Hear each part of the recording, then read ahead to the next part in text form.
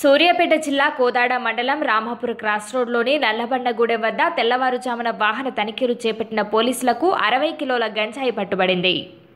గంజాయి విలువ సుమారు ఎనిమిది లక్షలు ఉంటుందని విలేకరుల సమావేశంలో కోదాడ సీఐ శివరామిరెడ్డి వెల్లడించారు.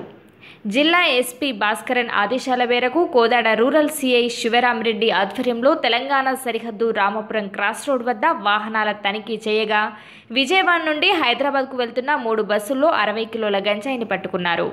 కోదాడూరు రోడ్లో మా జిల్లా ఎస్పీ గారి ఆదేశానుసారము వెహికల్ చెకింగ్ చేస్తున్న క్రమంలో ఇక్కడ నుంచి ఆర్టీసీ బస్సుల్లో చెక్ చేస్తే మూడు బస్సులలో ఈ గంజాయి స్మగ్లింగ్ తరలించే వ్యక్తులను పట్టుకోవడం జరిగింది.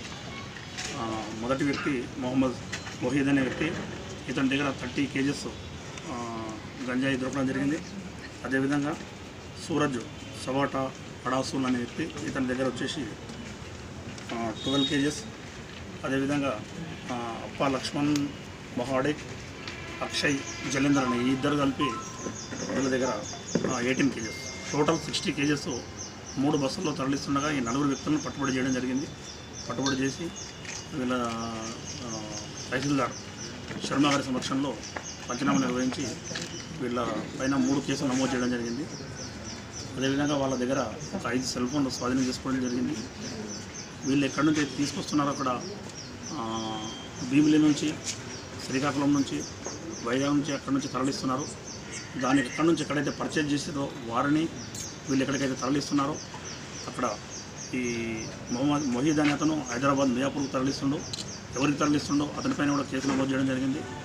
ఇక్కడ కొనుగోలుదారుల అమ్మేవాళ్ళపైన మరియు ఎవరికైతే రిసీవర్ అవుతుందో రిసీవ్ అవుతుందో వాళ్ళపైన కూడా కేసులు నమోదు చేయడం జరిగింది. ఇప్పుడు ఈ నలుగురిని ఈరోజు కోర్టులో ప్రొడ్యూస్ చేస్తున్నాం.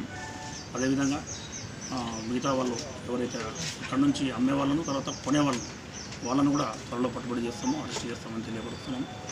ఈ ఈ వెహికల్ చెకింగ్లో సమర్థవంతంగా నిర్వహించిన ఎస్ఐ సైదులు కోదాడు రూరల్ అదేవిధంగా మా సిబ్బంది నిరంజన్ రంగనారాయణ చంద్రశేఖర్ మరియు సురేష్ ఇతర సిబ్బంది అందరూ కూడా మంచిగా పనిచేశారు.